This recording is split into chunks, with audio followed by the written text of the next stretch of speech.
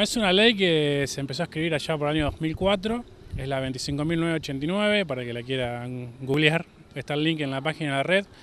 que es eh, red BDA, la sigla BDA de Banco Alimentos, eh, .org.ar, bueno, ahí van a encontrar el link para, poder ver la ley.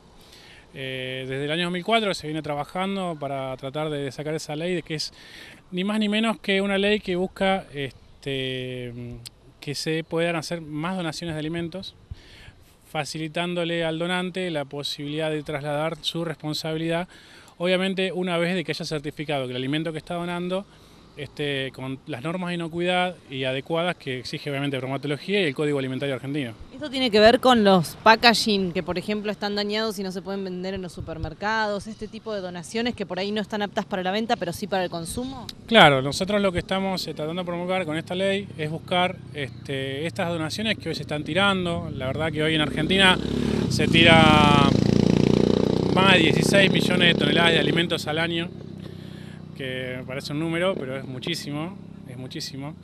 Este, el 30% de los alimentos que se producen en el mundo también se tiran a la basura.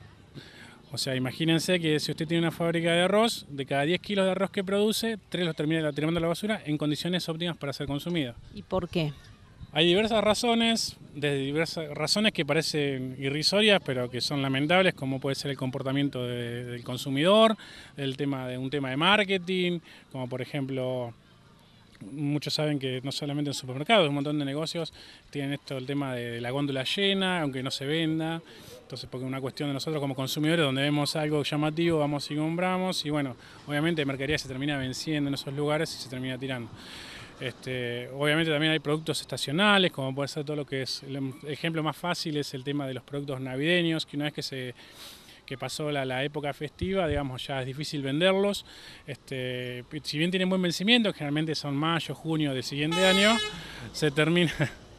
se termina, se termina tirando porque digamos, las empresas tienen miedo de, de, donarlo y que se termine obviamente o en un comercio paralelo o este, que no tenga los cuidados adecuados la persona que lo recibe y termine haciéndole daño a alguien. Claro, y esto la responsabilidad cabe a la empresa que fabrica este alimento, por eso ustedes la idea con la ley es que deje de ser responsable a partir de, la donación. En realidad eh, no es que, no quede responsable nadie, sino que nosotros lo que estamos buscando, esta ley este, está este, instrumentada de cierta manera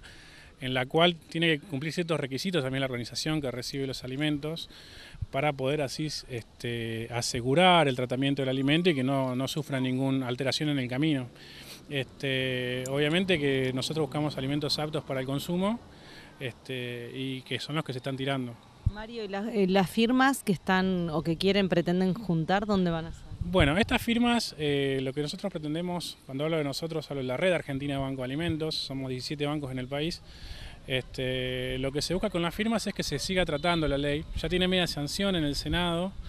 este, y si no se trata ahora cuando arranca la sesión en marzo, digamos, eh, es volver a empezar. Entonces la idea es que se vuelva, se traten diputados ahora cuando arranque y para poder hacerlo con la firma de 500.000 personas eh, se pone en agenda. Para poder firmar y ahí van a encontrar toda la información pertinente a la ley y de qué se trata.